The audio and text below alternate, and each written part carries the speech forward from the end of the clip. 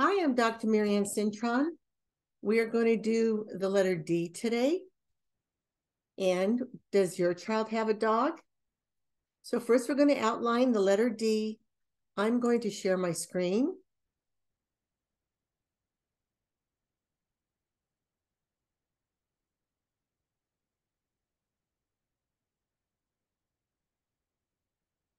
I can get to it here. So we're going to do the uh, start at the top, make a line, and outline it with a hump. Three times, down, outline it with a hump, down, outline it with a hump. Here we're going to do the C stroke for the D, lowercase d, make a C and a line, a C and a line, and a C and a line. Some people will associate the tail like the D, the D could be the dog with a tail, the dog's bottom with a tail. so that might help understand the D. And we use uppercase D at the beginning of our sentences or the name, people's names. So I'm going to enlarge my screen here. And this is a cute little page. I always give you instructions that go with the page so you can know exactly what to be looking for.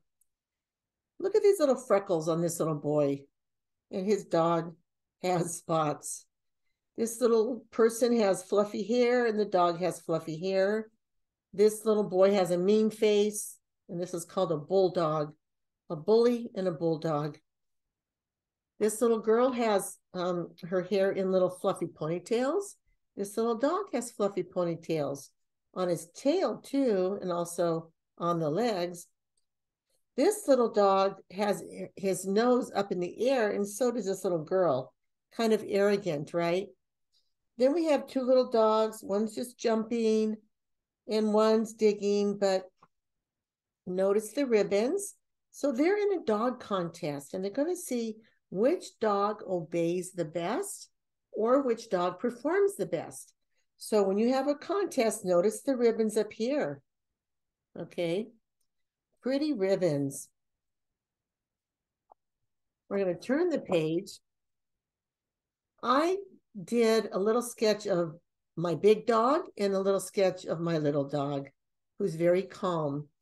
And I cut out these ribbons, which are part of the pop-ups. And here's the stage. So you have ribbons again for the stage. And I'm going to give the big dog this ribbon and I glue the little D on for that ribbon. Notice D-O-G, um, uppercase D at the beginning of a word and D-O-G with lowercase d for um, in the middle of a sentence. So beginning of a sentence, middle of a sentence. And then we have the big, all uppercase capital D O G. So now we're going to start recognizing again red, yellow, green light, which is the line red, yellow, green. Let's outline our uppercase D with a line and a hump. Outline our lowercase with a C stroke and a line. So let's go ahead and practice all of these. A line and a hump, a line and a hump. It starts at the dot. We want to be sure all the kiddos are starting at the same place and ending at the same place. Line and a dot. Here's the dot, line and a, a hump. Do a little bit more. Line and a hump. Line and a hump. Line and a hump. Here's our dot, line. So let's see how the memory works. Line and a hump. Don't let the D become too skinny. Line and a hump. Put a picture down there. We'll do some more. Line and a hump. This is a lot of writing practice. Line and a hump. Okay, so now it's by memory. Let's be sure our children are making those D's a little fatter. Sometimes they want to make them real skinny mini. You've got to make them fatter, okay? so now we're going to outline a little bit. I love how Pleasant Rowland does this. It just it's like going to the gym and having somebody lift the weights with you a little bit, and then you're on your own. So here is the line and a hump, a line and a hump, a line and a hump, a line and a hump. Okay.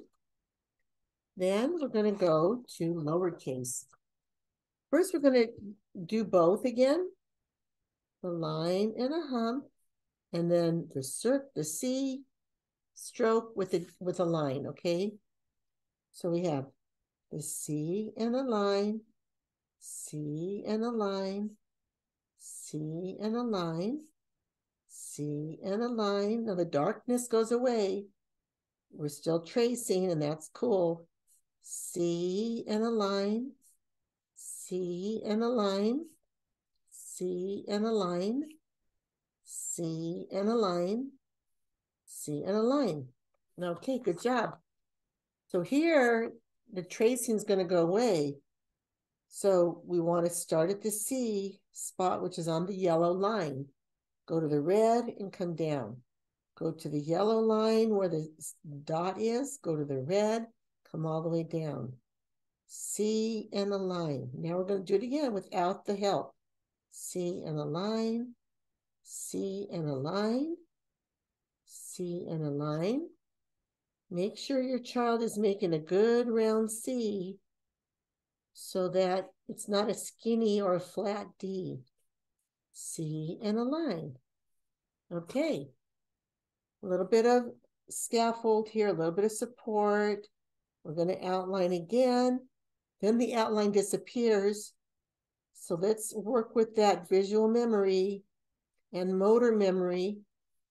C and a line. C and a line. This is our D. D says duh. C and a line. C and a line. Okay, good job. Now we're going to do both uppercase, down and a hump, C and a line. Down and a hump, C and a line. If you need to pause this because your children need more time, that's okay. So here we go. Down and a hump, C and a line down and a hump, C and a line, one more, down and a hump. This was a little tight. C and a line, okay? Good job. Now, on page five, we're going to see associations, and you're going to say a word that the child's going to circle. So these are all dishes. We have a pitcher. A lot of kids don't know what a water pitcher is. And we have mugs, we have a saucer and a bowl, and a big soup mug. So here we have pants and a dress. They're both garments. Here we have um, furniture. We have a desk and a chair. Here we have parts of a, of a house. We have window and a door. And here are things in a dentist office. We have a dentist chair and a toothbrush. Here we have two girls. One is a singer, one is a dancer. Here we have two animals with feathers. We have a bird and a duck. Here we have um, two toys. This is tricky because it doesn't look like a toy until you see the string. So it's a toy truck and a toy doll. We have two people who are in the medical field. We have a nurse and a doctor. And we have two musical instruments, a drum that goes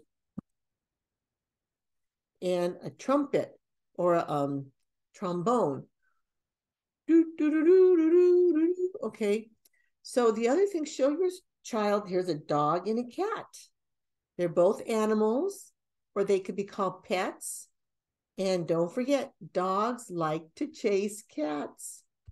That's going to come up later. So in this first picture, I want you to circle uh, the soup bowl or the big cup. So have your child circle that. In the next rectangle, I want you to circle the dress. So have your child circle the dress. In this picture, I want you to circle the desk.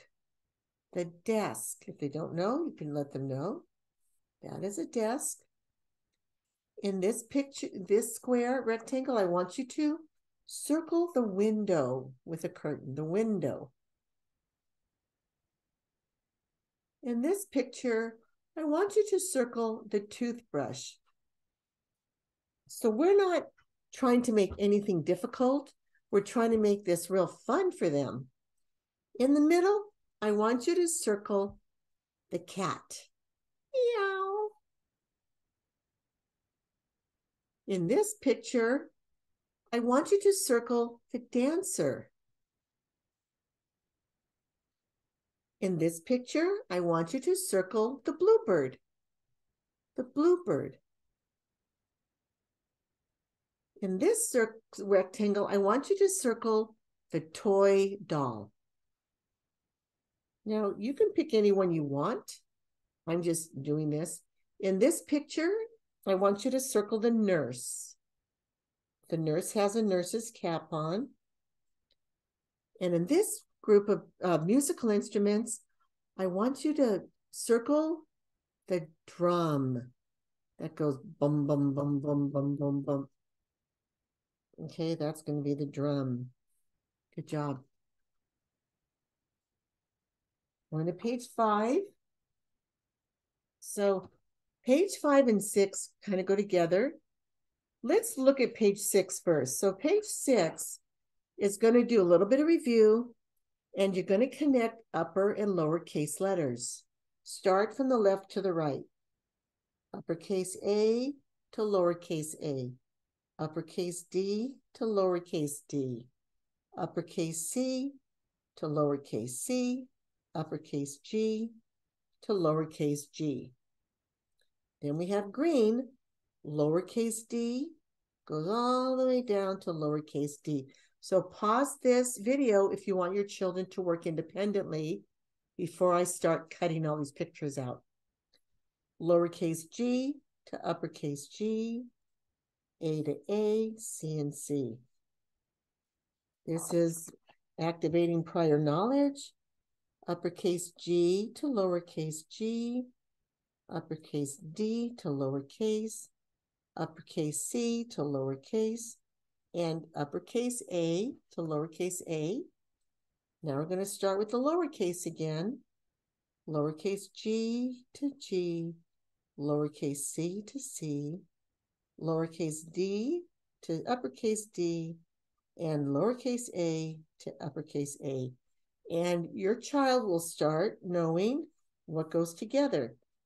So now these are pictures. I'm going to have you Give your child um, a pair of scissors. Let's say the pictures first. We have a garden and a desk and an astronaut, anteater, girl, a cup, a comb, a doll, an apple, a drum, cake, and a gate. We haven't done F yet, so we're not going to say fence. It's going that's a gate. So let's cut out. There's nothing on the back, so these dotted lines let you know, cut them out. So we're going to trim the outside first. Let your child know, cut the outside first. And he's going to have little scissors, so it'll take his little hands a little bit longer. You might have a child who needs a little bit of support, so you'll have an aid, or you could even help that child. So we're going to cut these all out. And you guessed it, we're going to be matching beginning sounds.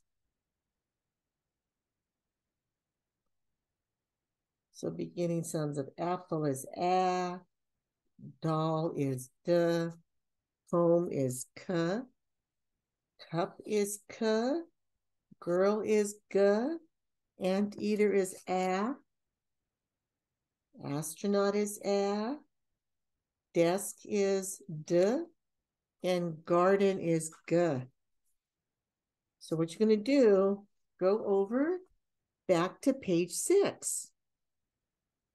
So these are the columns of words with sounds. It's going to be, remember I, I taught you the letter name, the picture, and the sound. So D, dog, D. C, cat, k. A, alligator, a. G, goat, g. Go to your first picture. G. Does your child know G for goat? Desk, D, dog. Astronaut, A, alligator. Anteater, A, A. I'm going to glue them at the end. We have girl, G. We have comb, K, We have cup, K. We have doll, D. We have a, a, a for alligator. We have drum, d over here. Two more. We have cake, k. And the last one is g, gate. So after I get them in the order there, your child should have plenty of room on the table. Then I just open my glue stick up and I just put, look at my little dot. I just put a little dot because we don't want the kids being all messy with this. Just a little dot. And they could say the name again or not. Apple, ah. Anteater, ah. They can repeat after you. Astronaut, ah. Alligator, cat, k, comb, k, cup, k, cake. And the last one is dog, d, d, desk, d, doll, and d, drum. You see how interactive that is? That is your science of reading, multisensory. You want um, tactile, you want kinesthetic, you want a lot of visual. You want to get your child speaking a lot of kids in kindergarten may need speech help. So let's help them articulate these sounds. So we've already done that page. We cut it all up. So this is a this little leftover piece with the dogs. I'm going to say some words. So this is page eight. I'm going to say some words, and I want you to your child to circle the head if they hear the, the sound. So I'm going to look at my instruction and page eight. Okay, so I'm going to, um, let's see, do they hear, um, like for on this doggy, I want to say the word dot. Dot. Is the duh in the front or in the back? The duh is in the front, so your child will circle the head. The next word is den. Den. Does your child hear the d in the front or the back? In the front. And these are all in the instructions. I've given you the words you use. So the next word is dim. Dim. The d is in the front. Then we have the word wed. Wed. Where do you where does your child hear the d? at the end of the word. Last word is mud, mud. And we hear the d at the end of the word again. Okay? So here we have, on page nine, we have another exercise that's so cool because it's categorizing, it's um, judging, it's it's being, you know, one-to-one correspondence. We have a big house, a little house, and two medium-sized houses, okay? So instead of just three, now we have four. But these are two large and two smaller, okay? Now we look at our dogs. We have two big dogs, two tiny dogs, and the other dogs are in the medium size, right? But these two are the same medium, and these two are the same medium. So let's go ahead, have your child cut out the dogs. And again, it's blank on the bot on the back there.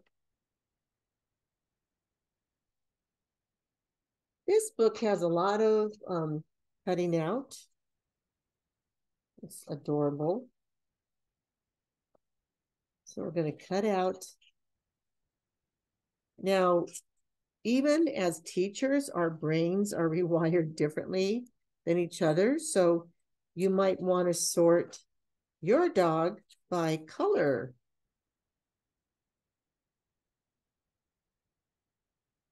Or you might want to sort your dog by size first. But what I'm going to do, my rule is if you have a short line, cut the short line first.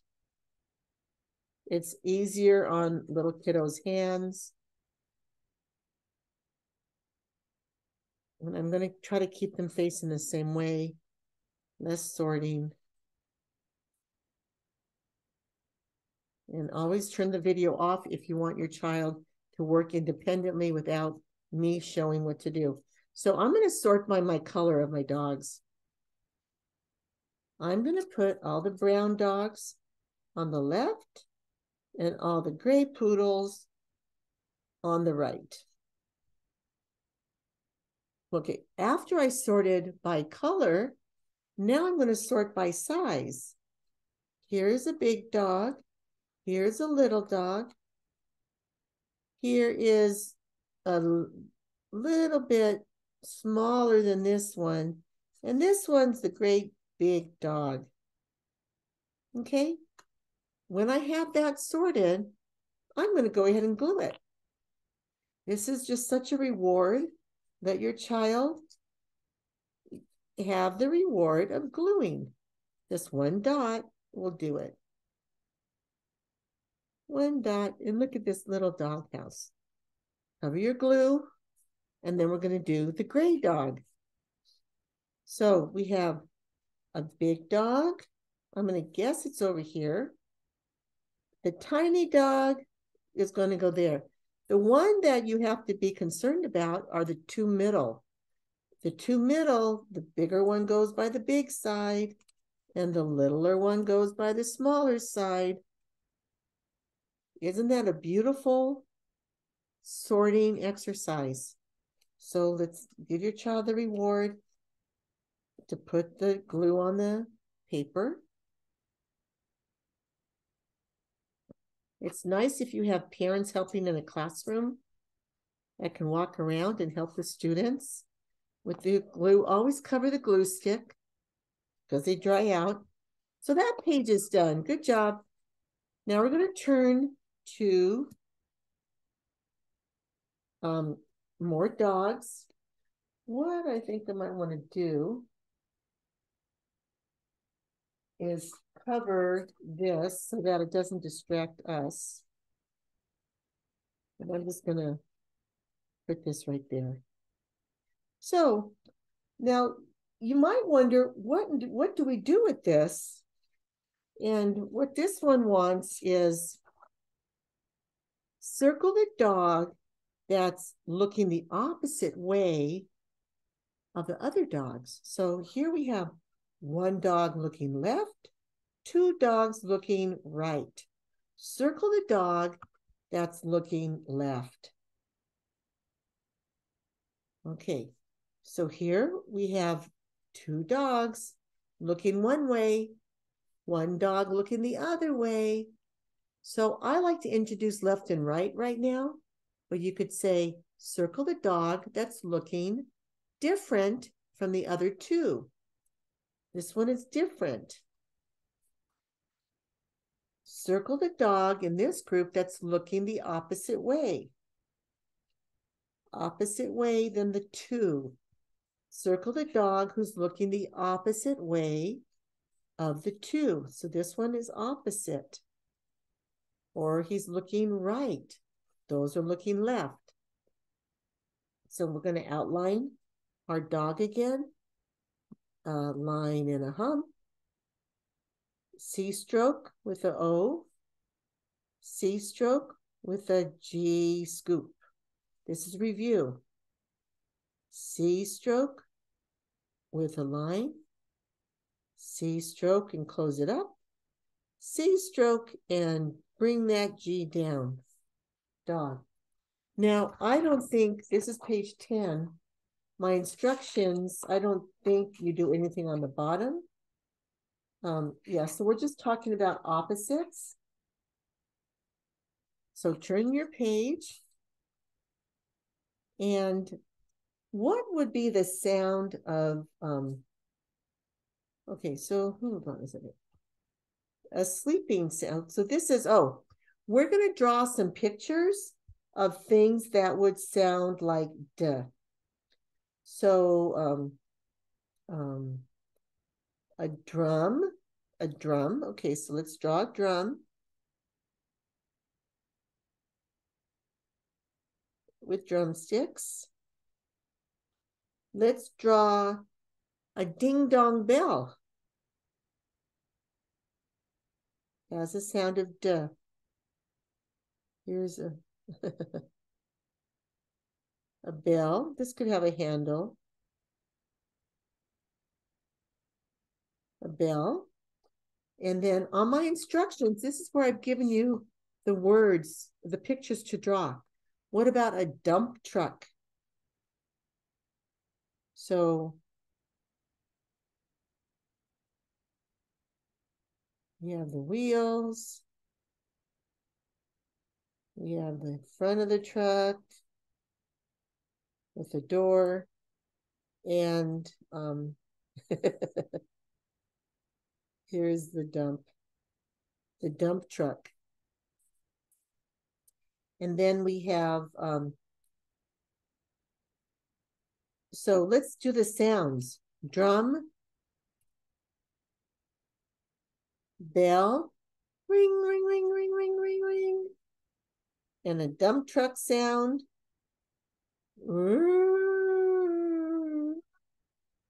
So the recommendation was you make the sound, and maybe one day I'll have um, an app or a playlist that has the different sounds. As a child hears the sound, they're going to draw.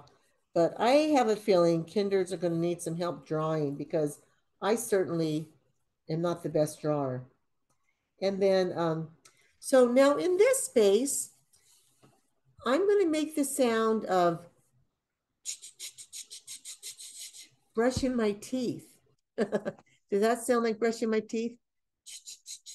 You could model it. So let's draw a toothbrush.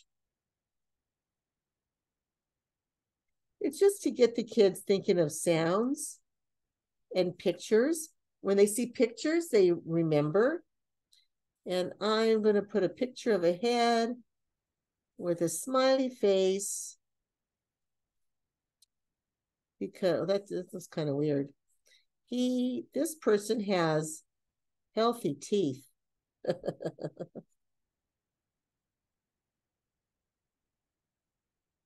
so this is toothbrush. Okay. Now we're going to turn the page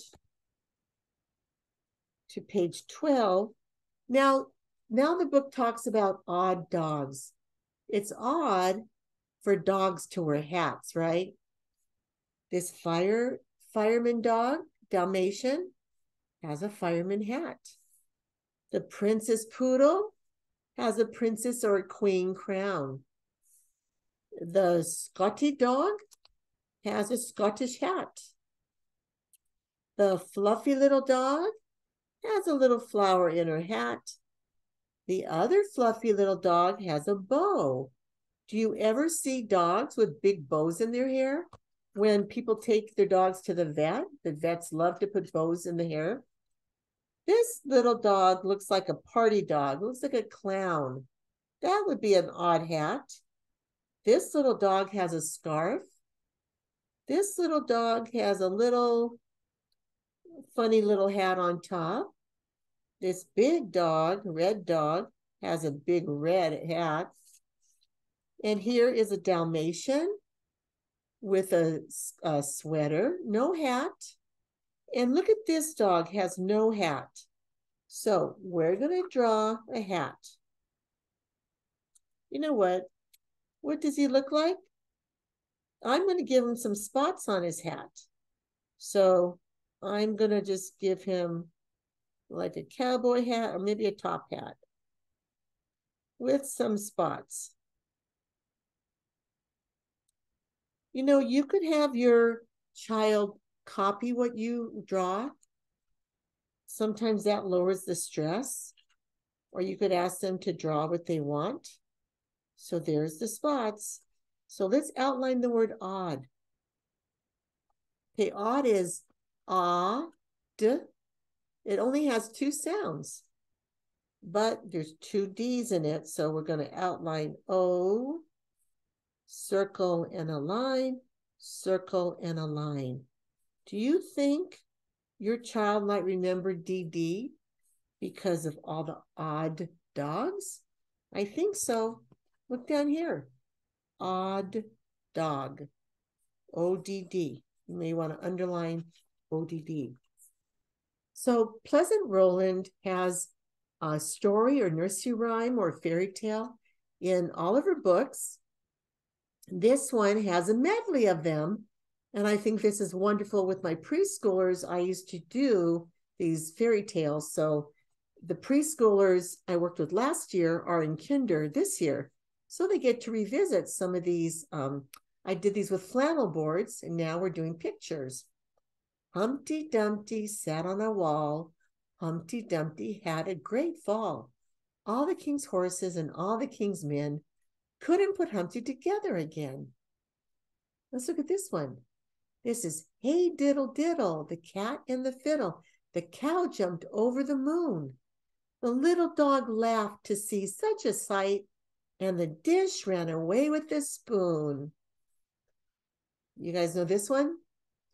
Hickory dickory dock, the mouse ran up the clock. The clock struck one, the mouse ran down hickory dickory dock.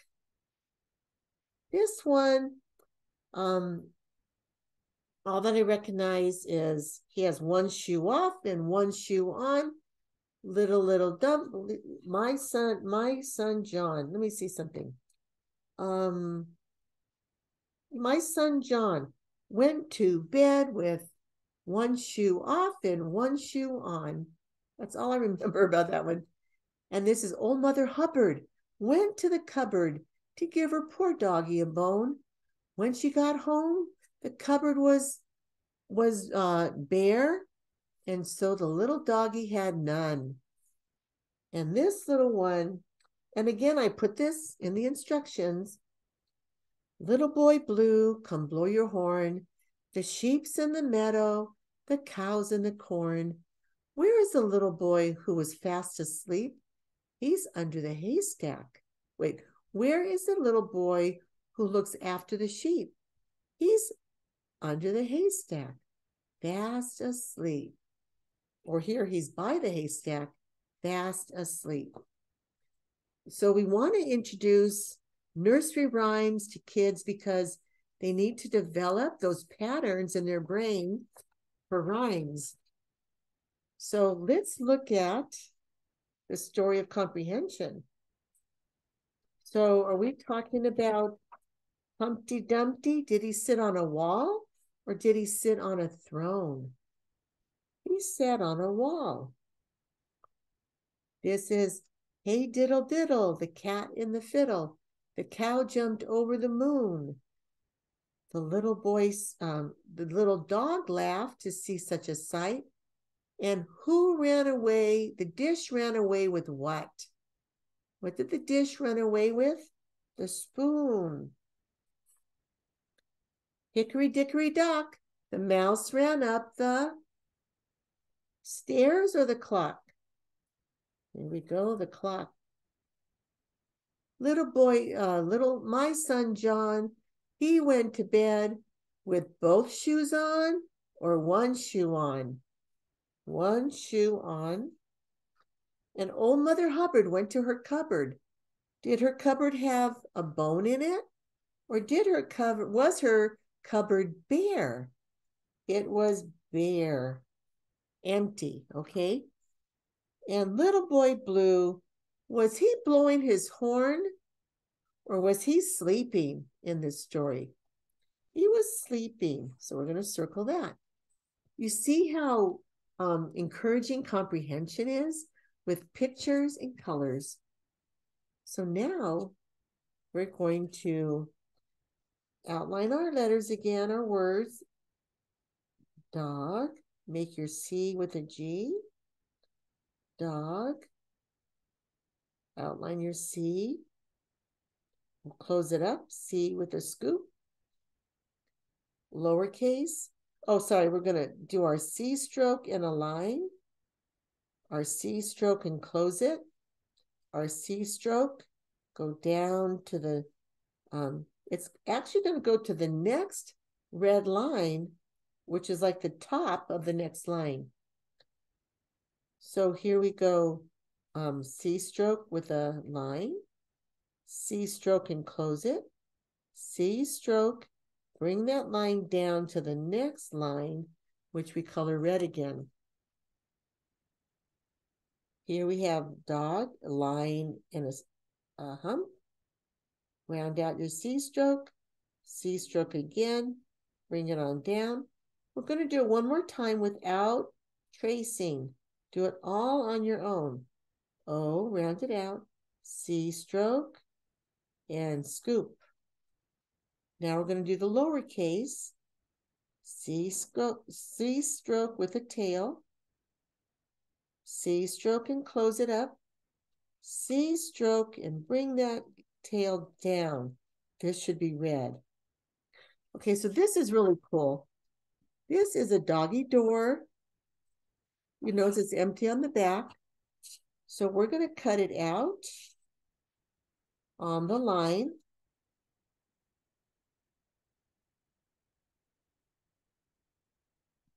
And it's going to be a door for here. Is that amazing? So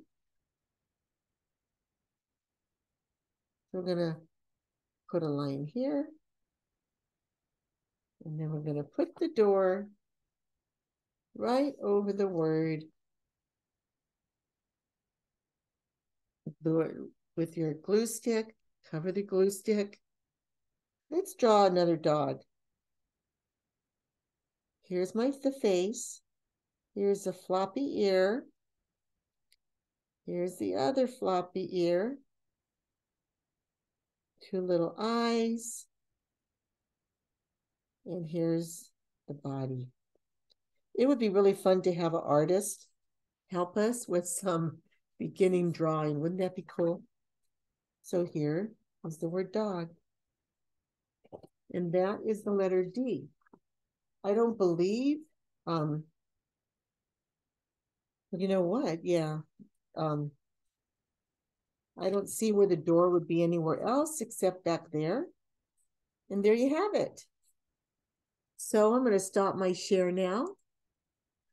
Hope you enjoyed D. And our next letter is going to be um, S, which is video number six. So these are all in a very special order. They're sequential and they're cumulative, which is also the science of reading. So hope you enjoy this. And I'm so glad you're here. Bye-bye now.